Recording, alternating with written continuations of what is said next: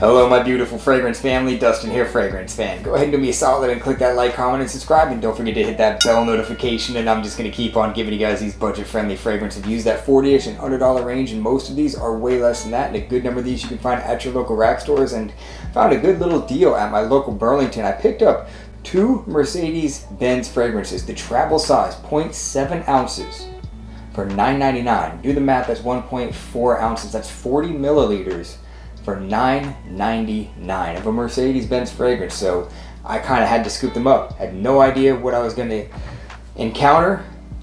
I got this one and this one. I want to do the review on this one first.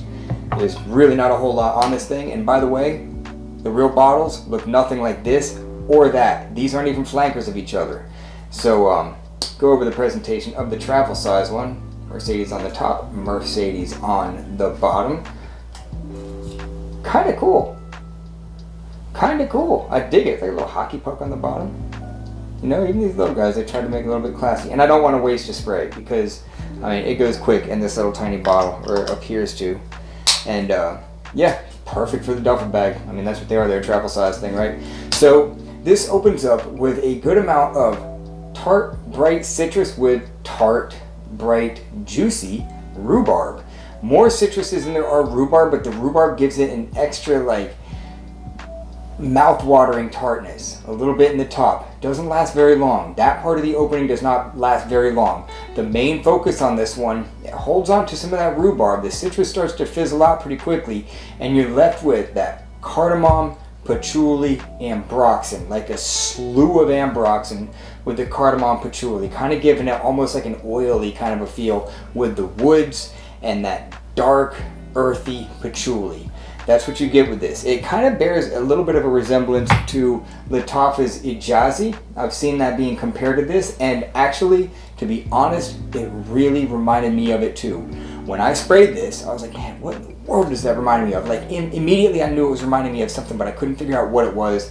And then it dawned on me it was this. And I looked at the reviews, and sure enough, people are correlating the two together. The difference is that one stays brighter longer than this one and is, to be honest, more wearable. This is one of those fragrances that are not going to be for everybody. I'll say that right now. This is one of those love or hate fragrances, kind of like Joop, Geoffrey Beene Gray Flannel, um, Halston. It, it's one of those kind of fragrances.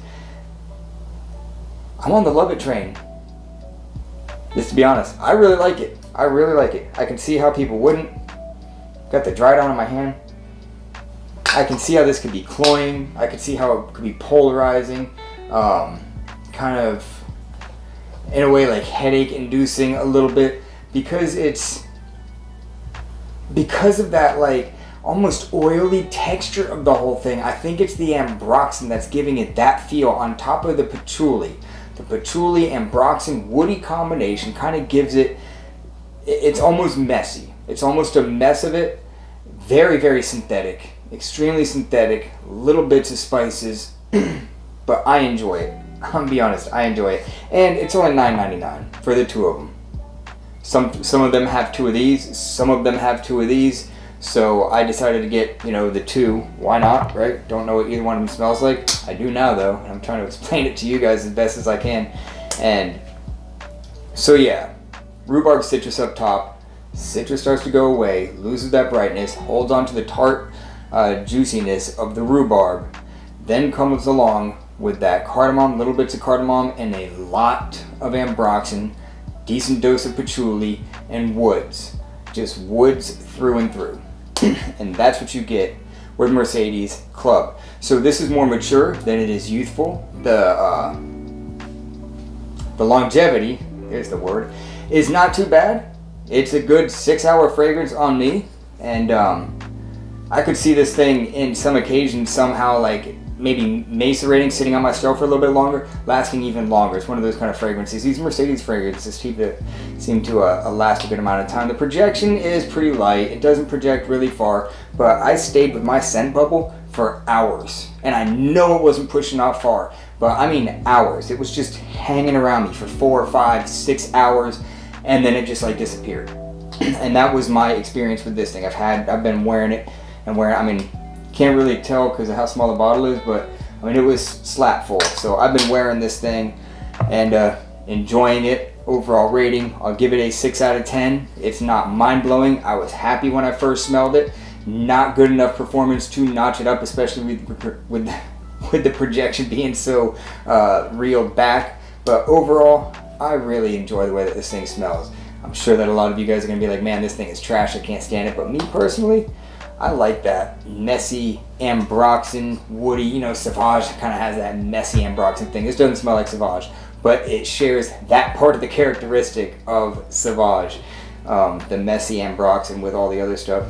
So, not the best for the high heat, more geared for the spring and like the fall or a cooler summer evening maybe this would be good for that. Or rainy day, this would be good for that. I don't know why it's called club. I couldn't really see this being so much of a club fragrance, but that just is what it is. And uh, yeah, more youth, more mature than it is youthful. Six out of ten, not bad at all, especially for the price. Go ahead and roll the dice on. I'm sure you'll like one of the two. So uh, yeah, that's my final thoughts on Mercedes-Benz Club. With that, I'm out. Y'all be blessed. Take care of yourself always, and until next time.